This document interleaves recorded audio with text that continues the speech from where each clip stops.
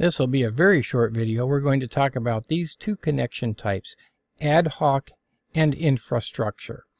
Now, these are simple and ad hoc. We simply mean various computers or, or devices, phones, whatever, are all talking to each other. There's no central device, there's no access point, there's no router or anything else. When we're talking about infrastructure mode, we have a wireless router or an access point here, and then these devices are all talking to each other through this access point and all communication in infrastructure mode goes through the access point. It never goes from device to device when we're in infrastructure mode when we're on a network that is created by an access point or a wireless router.